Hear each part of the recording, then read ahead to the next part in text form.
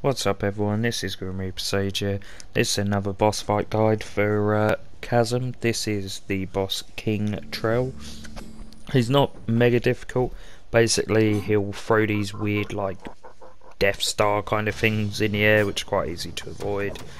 Um, he does block if you use magic attacks as you can see. He summons minions when he blows a horn. Overall he's not that difficult to be fair, I kind of cheesed him a bit. I basically stood in front of him, got hit, and then you have a couple seconds where you have invulnerability, and just basically stood there hammering at him. But hopefully this video helps. As always, everyone, if you want to ask me anything, feel free. Please watch us over on twitch.tv slash grimreapersage and as always hopefully my videos are helpful. Let us know any way I can improve them or help you more.